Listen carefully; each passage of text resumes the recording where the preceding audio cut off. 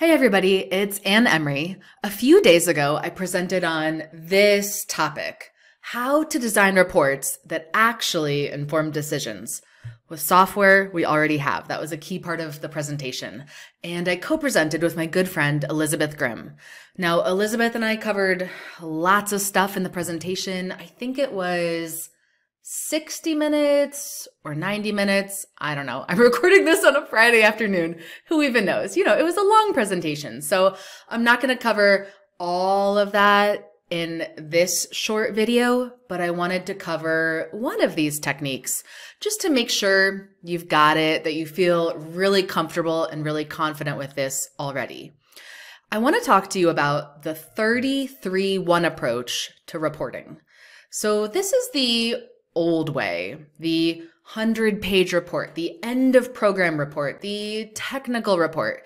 These get really long. So if you work in program evaluation or applied research like I do, you're familiar with these. These used to be the norm not that long ago. And in some settings, I'm thinking of like government, government contracting, these definitely still are the norm.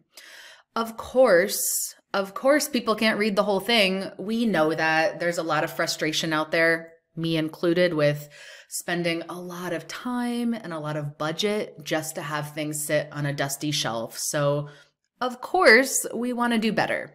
And 30-3-1 can do that. 30-3-1 goes like this you write a 30 page report, 30 page max, 20's even better, 10's even better, 30 page report with unlimited visual appendices. We'll talk more about visual appendices in a moment. And then you also write a three page summary and also write a one page summary. So you've got the full version, the mid range version, and the short version. Honestly, I would say this is the bare minimum for research and evaluation reports. My wish for you, time permitting, budget permitting, would be that you also go on and write uh, or design a slideshow, a dashboard, an infographic. There's so many different options for sharing data and getting data out of spreadsheets and into conversations. So please consider this the starting point, okay? But let's talk more about this just to make sure that you're really comfortable with it. Okay, so your starting point is all the data, the full report. You already know how to make those, of course. That's still kind of the norm in the field.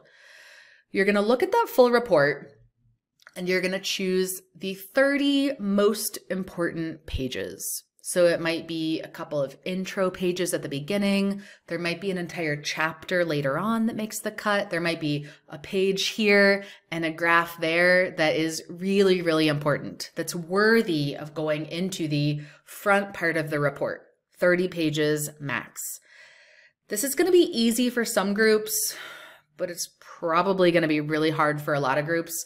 This is going to take a lot of time. You're going to want to get a lot of input from other people. You might make a small subcommittee to think about this. You might want to get like your boss's approval, the report audience's input and approval. So this isn't like a, uh, oh, I'll just pick really quickly. This is going to be a really thoughtful process. And let me tell you actually, what's going to make this easier you might laugh. I don't know. Should I share that? I'll share it anyway. Okay. You know Marie Kondo, right? She's got the books. What is it called? Life Changing Magic of Tidying Up.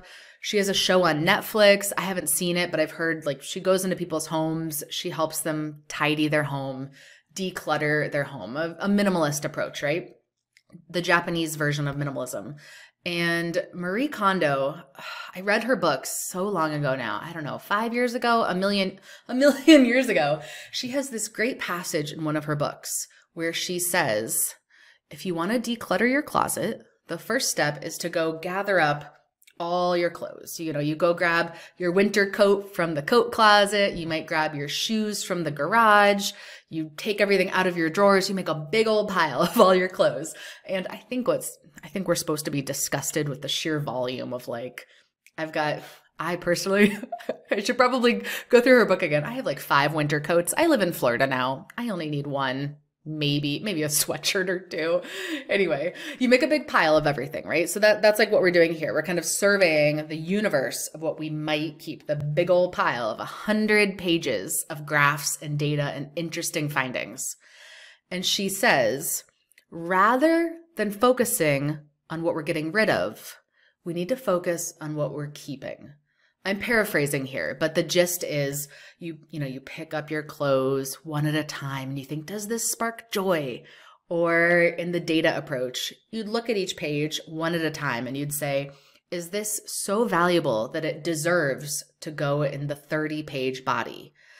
And if not, you don't even have to get rid of it. So I'm going to be a, a, lot more generous than Marie Kondo here. You're not deleting it, you're not discarding it, you're not donating it to the charity down the street. You're keeping it.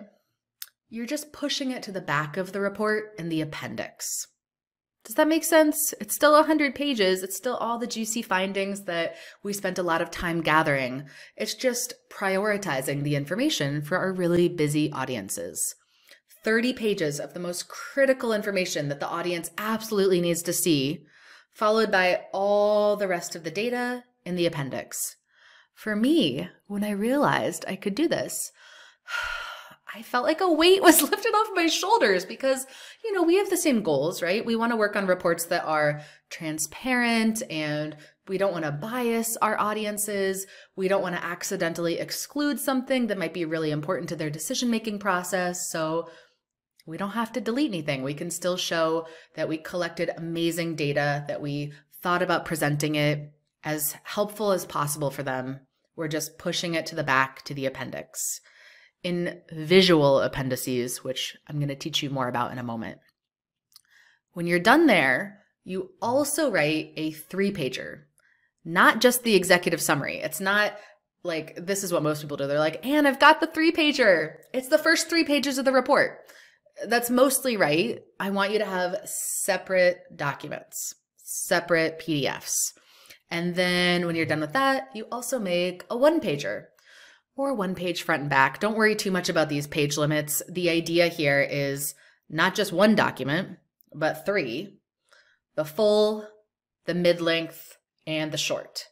Time permitting, budget permitting, you would also allocate time and budget to have the slideshow, the dashboard, the infographic, and so on to make sure that you've got the right format for the right audience type. There might be, you know, funders of a program might prefer one approach. Government policymakers might prefer another approach. Program participants or community members might prefer another approach. So by having lots of different methods, we can meet lots of different audiences' needs. It's tailoring rather than just this is what I used to do. I'd be like, well, page one is for this audience, and chapter two might be helpful for this audience, and then those tables in the appendix might be. No, we're not just going to dump it all in one document. We can do better. It's time to do better.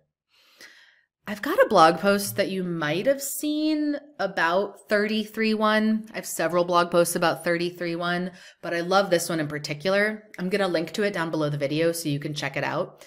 It's a case study from Sarah DeLong, who used to work in Wisconsin with the Division of Public Health. And she shares how her division applied 30-3-1 to their work. I told you 30-3-1 is, you know, general guidelines. You don't have to follow it to a T or anything.